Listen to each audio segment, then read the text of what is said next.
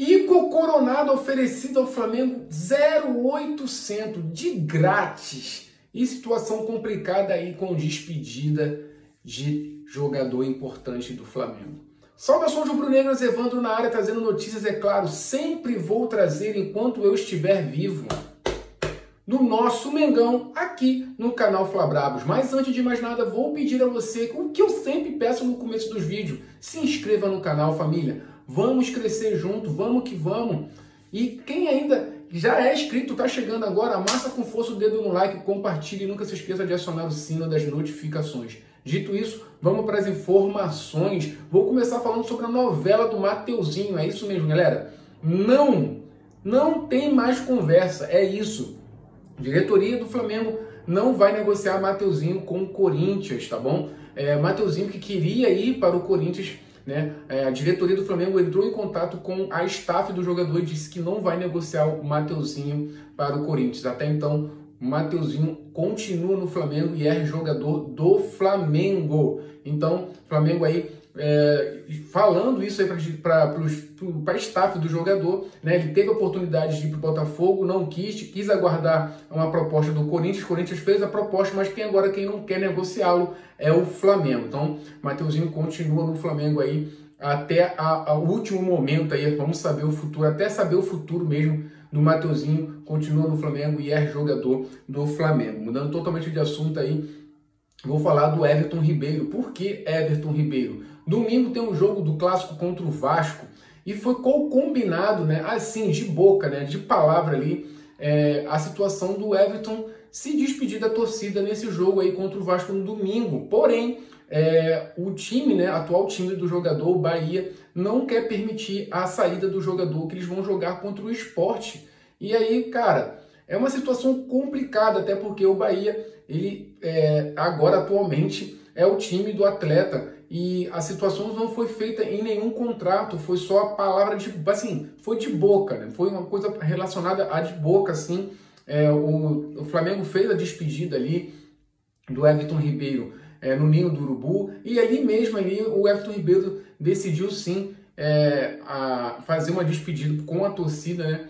No Maracanã, nesse jogo aí, desse clássico, esse primeiro jogo do Flamengo no Maracanã, a volta do Flamengo ao Maracanã, mas pode ser vetada e não ter essa despedida para o Everton Ribeiro, nosso capitão Everton Ribeiro, que ganhou muita coisa pelo Flamengo, e a torcida queria fazer essa despedida para ele, seria muito bom, né? Essa, fazer é, essa homenagem, a honraria, um monte de coisa, colocar o troféu lá. Provavelmente a torcida faria uma festa bonita, colocando bandeirão, essas coisas. Não vai acontecer a despedida pelo jeito, tá? Bahia tá redutiva aí a liberar o jogador e conta com o jogador contra o esporte. Tá bom? E agora a situação do Pablo, né? Situação do Pablo totalmente inversa do Mateuzinho. Aceitou logo de cara a proposta do Botafogo, treinou hoje no Ninho do Urubu, mas amanhã se apresenta ao Botafogo aí e vai ser emprestado assim oficialmente ao Botafogo pela para a temporada 2024. Não se sabe o futuro depois disso, mas o ano todinho de 2024, Pablo agora é o zagueiro do Botafogo. Vamos ver como é que vai ser a situação aí. É, a, o time do Flamengo acho que não se despediu dele porque está em, tá em folga hoje, né? A, o time todinho está de folga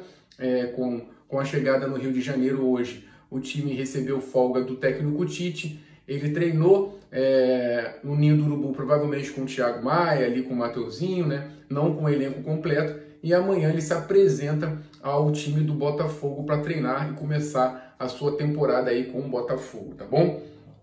Léo Ortiz, família. Ô novela, né, pai? Que novela, mas vamos lá. Léo Ortiz. A situação do Léo Ortiz, família, é o seguinte: o Flamengo é, é, pousou hoje no Rio de Janeiro, né? O Braz foi perguntado sobre o Léo Ortiz e o Braz falou assim: vou pedir para baixar um pouco mais. Por quê, galera? Amanhã acaba a janela de transferência para time europeu contratar jogadores aqui do Brasil. Então, é, o Red Bull Bragantino tinha muito essa visão de fazer é, a venda do Léo Ortiz para um time estrangeiro, para ele jogar lá fora.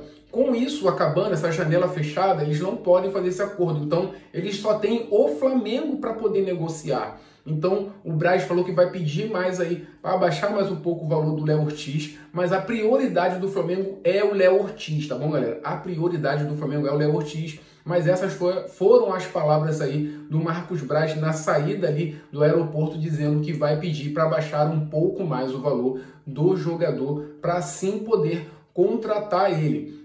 Assim, a gente como torcedor tem somente que esperar, mas assim, o andamento da, da, das conversas e das tratativas tá se encaminhando para um final feliz, tá, galera? Tá se encaminhando para um final feliz. Então vamos ver o que vai acontecer. Agora sobre a situação do Igor Coronado. Todo mundo falando aí, pô, o Igor Coronado, por um bom jogador, bom jogador. Foi um jogador que o Flamengo tinha interesse, mas agora não tem tanto esse interesse, mas não é descartado, tá? Situação é seguinte, o jogador de 31 anos foi oferecido ao Flamengo, tá? O Flamengo negou o pedido, o Flamengo não há necessidade de contratar, porque a prioridade do Flamengo, como falei, é o zagueiro, é preencher essa lacuna que foi deixada pelo Rodrigo Caio. Então o Flamengo vai apostar todas as suas fichas na contratação do zagueiro Léo Ortiz. E para o meio de campo, o técnico Tite vai dar prioridade aos garotos da base. É, Matheus Gonçalves, Vitor Hugo, o Lohan. Então, esses jogadores vão subir para o profissional e o técnico Tite vai dar a, a mais minutagem para esses jogadores e mais experiência para eles. Vai dar uma, abrir uma porta de oportunidade para esses jogadores da base. Então, não vê com prioridade hoje a contratação do meio de campo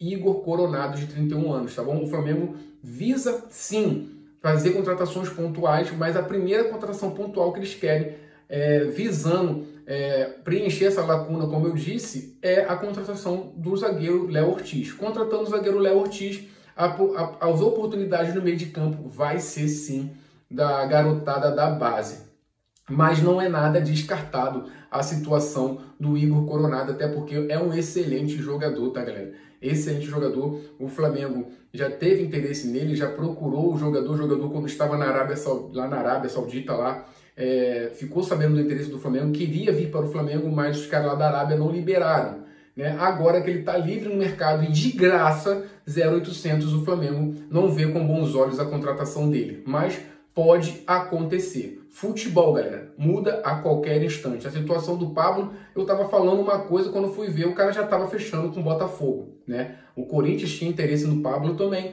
E aí, quando, quando a gente foi ver, piscar de olhos, já tinha fechado com o empréstimo com o time do Botafogo. Então, futebol, é, é, ainda mais mercado, mercado da bola, é muito é volátil demais, é muito rápido a situação. Então, só basta para a gente, torcedor, aguardar é, o desfecho aí do Léo Ortiz e ver a sequência que o Flamengo vai fazer. Vai continuar mesmo com a garotada, vai fazer uma proposta, já que está de graça o Igor Coronado e trazer o Igor Coronado, só, só resta a gente esperar, tá? Como eu falei, o time do Flamengo hoje está de folga, volta aos treinamentos amanhã para a, o jogo do clássico contra o Vasco, tá bom? Essas são as notícias de hoje, torcedor rubro-negro. Eu vou ficando por aqui, mas antes de eu ir embora, eu tenho que enfatizar com vocês para vocês se inscrever no canal, família. Se inscreva. Não conseguiu se inscrever lá na frente? Agora no final do vídeo, amassa com força o dedo no like, se inscreva, compartilha somente se for possível. Mas nunca se esqueça de acionar o sino das notificações, tá ok? Então, saudações rubro-negras,